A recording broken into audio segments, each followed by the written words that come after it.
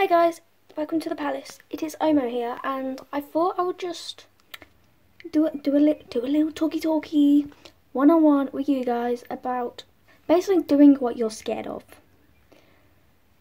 And I'm scared to make this video right now because I'm not using my camera, I'm not using my microphone, and I'm going to be editing it on iMovie. So I know it's not going to be my best, and I always want to do my best, and that's why I'm scared of like doing things. So I thought we'd talk about it. Let's talk about it one on one. Now, one thing I was scared of was creating a website and asking people to help out. Asking people to help, that's not me, but I did it. Look where we all are now. We have a little channel here. We have a few weekly contributors and we have content every single week and month for the website. Like, and I was scared to basically, I was scared to learn a bit of coding. it was something I'd never, never dabbled in before. I knew HTML, but I did not know stuff like hosting and that lot. But Jadalyn, the new owner of Neko Palace, I say new, it's been like half a year now. Thank you, Jadalyn, for saving my ass, because you're great. But basically, I was scared to sort the forum out.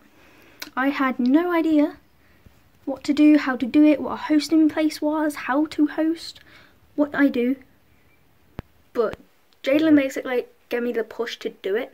We were both close to quitting actually. We were both like, mm, let's not. But then we both were like, fuck it, let's try it. If it doesn't work, we can get our money refunded, blah blah blah. Because we'd already spent like $144 on this, so eh, yep, go for it. And we went for it, and it was stressful but we did it. And Neko Palace has a forum now, if you did not know. I don't know when I'm posting this. But basically, I think what I'm just trying to say is do what you're afraid of. If it doesn't work, abandon ship or do whatever. I think me and Jadalyn both like helped each other and I think having someone there really helps you. I was scared to make t-shirts because I didn't think people would buy them. I was scared to set up a website. I was scared to ask for people for money when I started my Patreon.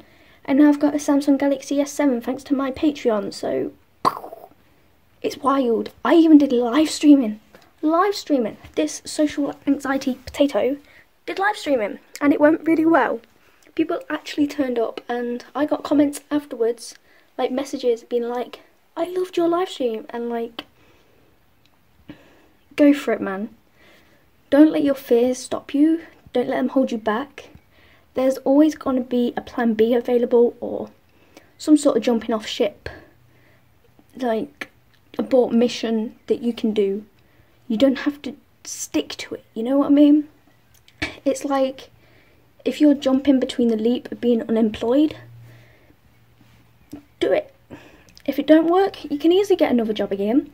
Just make sure you have about three months rent and expenses in your bank account before you do that.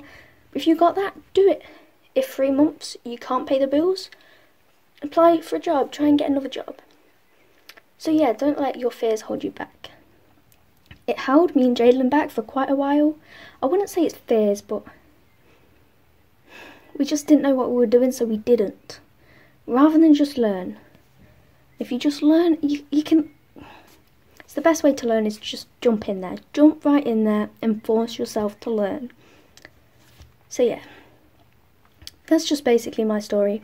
I'm scared to post this video because it is going to be low quality for me, but that does not mean it's low quality for everyone. And I think that's what I need to remember.